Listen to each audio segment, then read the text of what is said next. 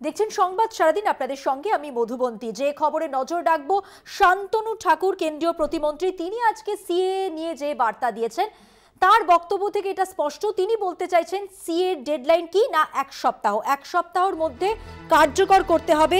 শান্তনু ঠাকুর এমনটাই বলেছেন, কেন্দ্রীয় প্রতিমন্ত্রী, তার মুখে এবার সিএ ডেডলাইন। এক সপ্তাহের মধ্যে সিএ কার্যকর হবে। কাকদ্বীপের বুথ সম্মেলনের যে মঞ্চ, সেখান থেকে ঘোষণা শান্তনু ঠাকুরের। মঞ্চে ছিলেন বিজেপির রাজ্য সভাপতি সুকান্ত মজুমদারও। কি বলেছেন শান্তনু ঠাকুর সিএ নিয়ে? শুনুন।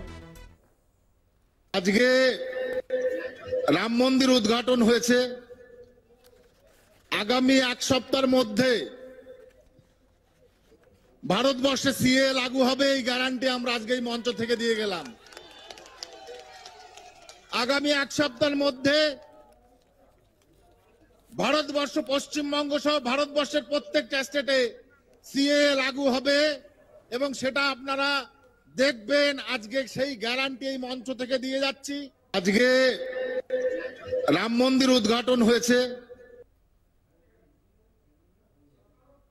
এই বক্তব্যের প্রেক্ষিতে তৃণমূল তৃণমূলের পক্ষ থেকে এবং সিপিএম এর পক্ষ থেকে কি বলা হয়েছে, তাদের কি প্রতিক্রিয়া, দেখুন পরপর।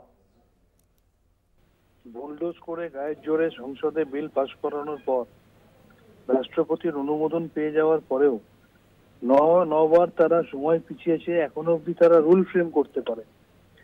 সিএ নিয়ে তারা নিজেদের মধ্যেই মতবিরোধ আছে। এই বাংলায় এক একজন বিজেপি নেতা এক এক রকম কথা বলে। অমিত শাহ আসামে গিয়ে সিএ নিয়ে এক ধরনের কথা বলেন, বাংলায় এসে সিএ নিয়ে এক ধরনের কথা বলেন, গুজরাটে নির্বাচনের আগে কিছু জেলাকে নিয়ে সিএ করার কথা বলেন। সামগ্রিকভাবে সিএ তাদের গলার কাঁটা সেটা তারা খুব ভালো মতো জানে। আমাদের দলের স্ট্যান্ড অত্যন্ত পরিষ্কার, যেটা বহুদিন আগে আমাদের নেত্রী পরিষ্কার করে দিয়েছেন যে যারা দীর্ঘদিন এই দেশে থাকে এবং ভোটাধিকার প্রয়োগ করার মধ্যে দিয়ে রাজ্য সরকার বা কেন্দ্রীয় সরকার নির্বাচন করে, তারা সবাই আমাদের দেশের নাগরিক। নতুন করে তাদের নাগরিকত্ব প্রমাণের কোনো প্রয়োজন নেই আমরা এর বিরোধিতা করেছি, আজও করছি, ভবিষ্যতেও করব। এইসব করে বিজেপি একটা অশান্তি তৈরি করতে চাইছে। গোটা দেশ জুড়ে এই অশান্তি করে দাঙ্গা বাজিয়ে ভোট পাওয়ার পরিকল্পনা, এছাড়া অন্য কিছু বিজেপির মাথায় নেই। সিএ এনআরসি নিয়ে ব্যাপক আন্দোলন হয়েছে দেশ জুড়ে। তখন সেটাকে স্থগিত রাখা হয়েছিল।